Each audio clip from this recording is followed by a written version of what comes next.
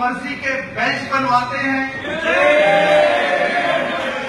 کیسوں کی مارکنگ ہوتی ہے۔ میں اپنی ہائی کورٹ کی بات کرتا ہوں۔ آئی ایس آئی والوں نے میرے چیف جسٹس کو اپروچ کر کے کہا کہ ہم نے الیکشن تک نواز شریف اور اس کی بیٹی کو باہر نہیں آنے دینا، شوکت عزیز صدیقی کو بینچ میں مت شامل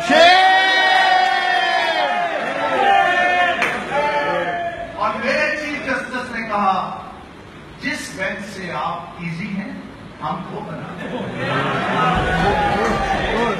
مجھے یہ پتا ہے کہ سپریم کورٹ میں کس کے ذریعے کون پیغام لے کر جاتا ہے۔ مجھے یہ پتا ہے کہ اکاؤنٹیبلٹی کورٹ کی ہر روز کی پروسیڈنگز کہاں پر جاتی رہی ہیں۔ مجھے یہ وجہ معلوم ہے کہ اسلام آباد ہائی کورٹ کا اسٹیچوٹ کے مطابق ان اکاؤنٹیبلٹی کورٹ پر ایڈمنسٹریٹو کنٹرول کیوں ختم کیا گیا؟ تاکہ وہاں پہ کل کوئی جج جا کر پروسیڈنگ